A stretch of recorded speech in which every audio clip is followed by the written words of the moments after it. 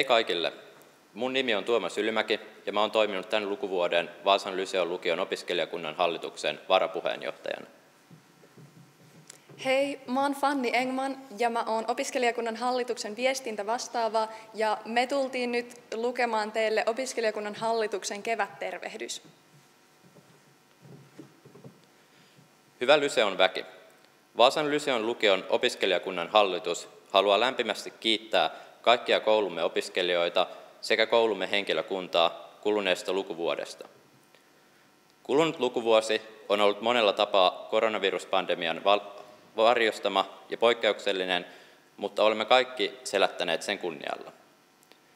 Kohtaamamme haasteet ja vastoinkäymiset ovat varmasti tehneet meistä jokaisesta vahvempia ja alkava kesäloma on toivoa täynnä. OKHssa on vuosikaudet korostettu ryhmähengen tärkeyttä. Aiempina vuosina uusi hallitus on lähtenyt syksyisin yhdessä metsäretkelle ryhmäytymään ja tämän lisäksi osallistunut myös Suomen lukiolaisten liiton järjestämiin tapahtumiin. Tänä lukuvuonna ne eivät koronatilanteesta johtuen valitettavasti onnistuneet. Koemme kuitenkin, että tämä poikkeuksellinen vuosi on yhdistänyt meitä ja meillä on ollut kaikesta huolimatta todella hauskaa yhdessä. Vastuuopettajamme Saija Rintamäki sekä Janne Dalsteen ovat muodostuneet meille läheisiksi sekä olleet meille korvaamaton apu monissa tilanteissa. Lukuvuoden merkittävimpiä OKH järjestämiä tapahtumia olivat varmasti perinteinen puurojuhla sekä VGn kanssa yhteistyössä järjestetty joululahjakeräys. Molemmat saatiin koronarajoituksista huolimatta järjestettyä erittäin menestyksekkäästi. Edellä mainittujen tapahtumien lisäksi olemme myös järjestäneet erilaisia teemapäiviä piristämään yksitoikkoista kouluarkea sekä tehneet paljon sellaista työtä, joka ei suoranaisesti näy koulumme opiskelijoille.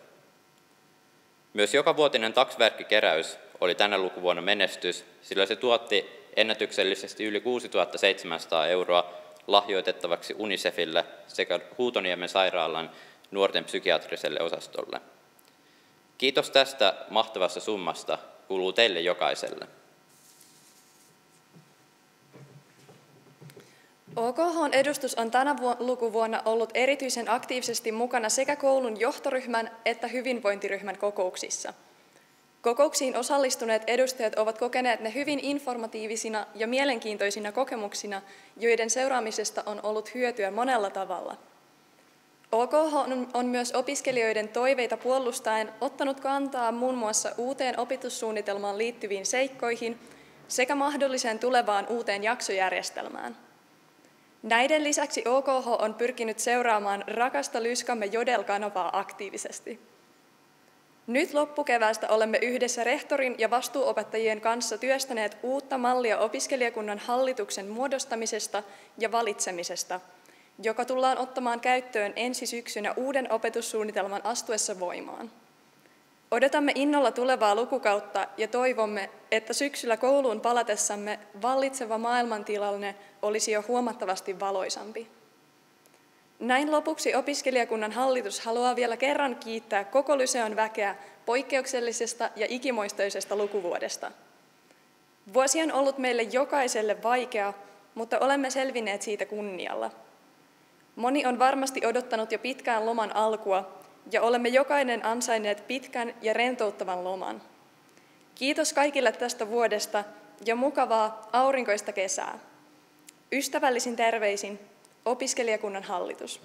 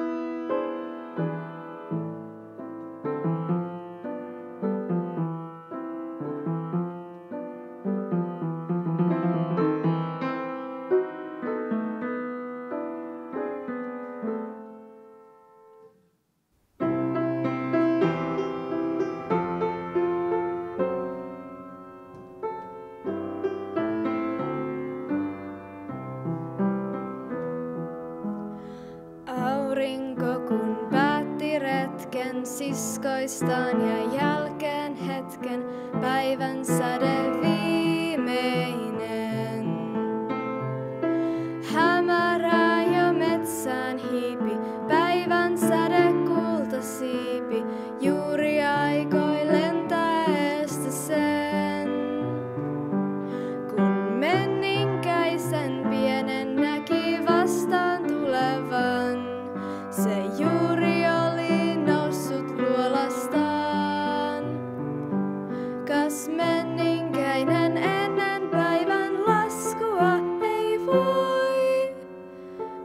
Milloinkaan olla päällä maan. Katselivat toisiansa, menninkäinen rinnassansa, tunsi kummaleiskuntaa. Sanoi poltat silmiäni, mutten ole eläessäni nähnyt mitään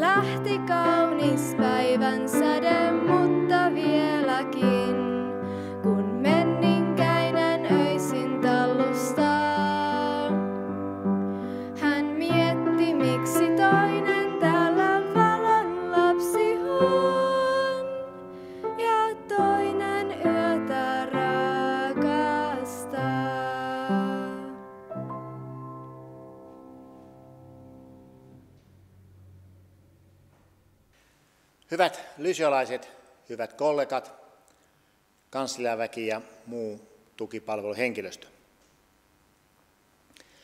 Vanha suomalainen sanonta vaikeuksien kautta voittoon kuvaa hyvin rehtorin tunnelmia näin lukuvuoden päättyessä. Viime keväällä alkanut ja kesän aikana laantunut pandemia varoitti paluustaan heti lukuvuoden alussa.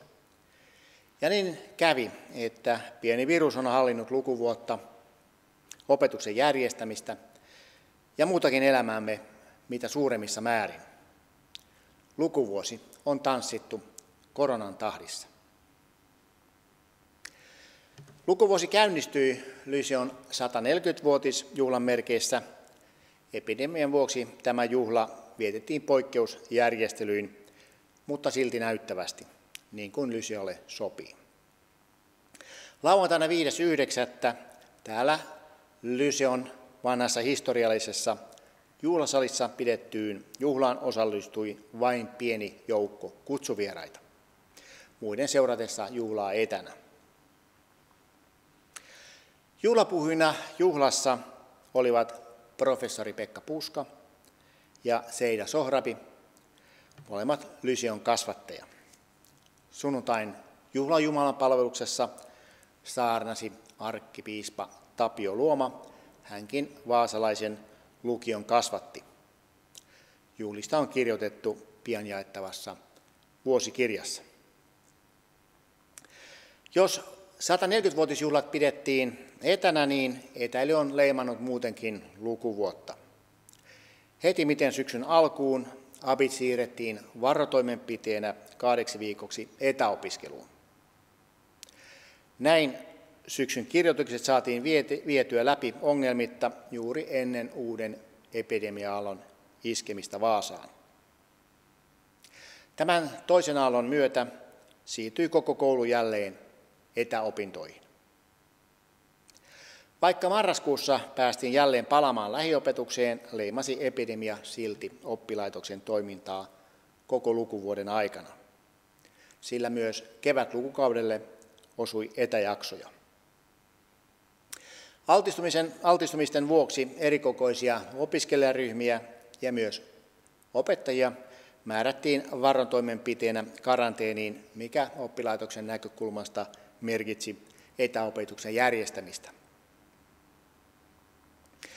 Mutta mahtuu lukuvuoteen silti uusia avauksia, onnistumisia ja huippuhetkiä.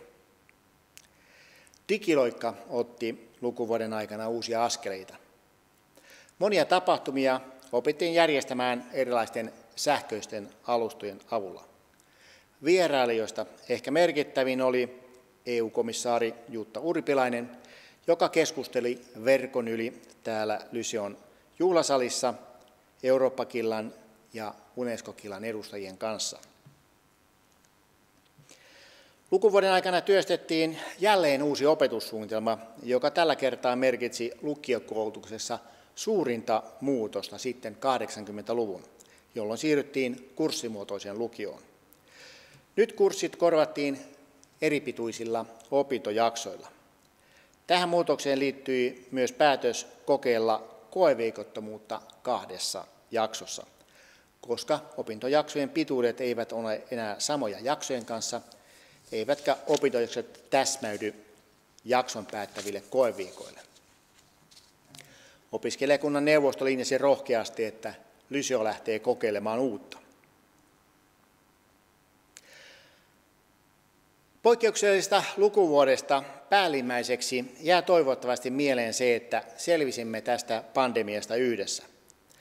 Opiskelijat noudattivat hyvin turvaohjeita, maskeen käyttö on ollut kiitettävää. Monista altistumisista ja karanteenimääräyksistä huolimatta yhtään tartuntaa lähiopetuksen aikana ei ole voitu johtaa Lyseoon. Myös ylioppilaskirjoitusten onnistuminen keväällä ja syksyllä oli osoitus hyvistä opiskelijoidemme yhteispelistä. Kun jokainen abi teki osansa omaehtoisessa karanteenissa, vältettiin epidemian isku abeihin ja kirjoitukset saatiin järjestettyä ilman ongelmia. Varotoimenpiteenä kirjoittajat jaettiin 12 erilliseen saliin turvaetäisyyksiin. Yhteensä kirjoituksiin osallistui 350 kirjoittajaa, joista vain yksi todettiin myöhemmin koronapositiiviseksi vapaa-ajalla tapahtuneen tartunnan jatkotartuntana. Kevään kohokohdaksi nousi varmaan myös poikkeuksellisesti toukokuussa järjestetyt vanhojen tanssit. Vaikka tanssit järjestettiin ilman yleisöä, onnistuvat ne silti hyvin liikunnanopettajat olivat jälleen valmentaneet, valmentaneet vanhat hyvin. Vanhat olivat upeita ja tilaisuus oli kaiken puolin tarpeellinen järjestää ja onnistunut. Lämmin sää ja yllätysnumero Paula Vesalan konsertti nostivat vielä tunnelmaa. Tapahtuma ylitti valtakunnallisen uutiskynnyksen ja positiivista palautetta tuli runsaasti. Onnistuneeksi voidaan todeta myös lukion johdossa tapahtuneet vaihdokset. Apulaisrehtori Vesan Esteen jäätö eläkkeelle hänen tehtävänsä jaettiin niin, että Tiina Kankkonen otti vastuun päivälukion asioista ja Ville Hujaselle osoitettiin aikuislukion johtotehtävät. Molemmat ovat ottaneet tehtävänsä hienosti haltuun. Kiitoksia teille. Kiitän myös kahta kokenutta eläkkeelle jäävää ja jäänyttä opettajamme, Arja Ulvista ja Inkeri Hyväristä. Arja jäi jo aikaisemmin eläkkeelle, Inkeri tämän vuoden päätteeksi. Hyviä eläkevuosia teille ja kiitokset sinulle, Inkeri, vielä näin lukuvuoden päättyessä. Kiitokset myös kaikille opettajillemme, opintosihteereillemme ja tukipalveluhenkilöstöllemme sekä Vaasan yhteiskouluyhdistykselle, joka on tukenut lukion opiskelijoita erilaisiin lahjoituksiin. Kiitokset myös kaikille stipendien lahjoittajille. Yli 30 000 euron stipendi jakomme on kyllä aivan mahtava palkinto opiskelijoillemme hyvin tehdystä työstä. Toivottavasti se kannustaa stipendien saajia ja muitakin jatkossa ponnistelemaan oppimisen äärellä. Onneksi olkoon myös stipendien saajille.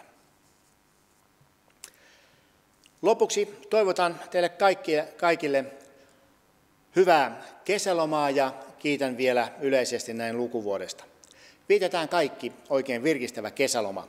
Tapaamme elokuussa uusien opiskelijoidemme kerran kampuksellamme. Hyvää kesää!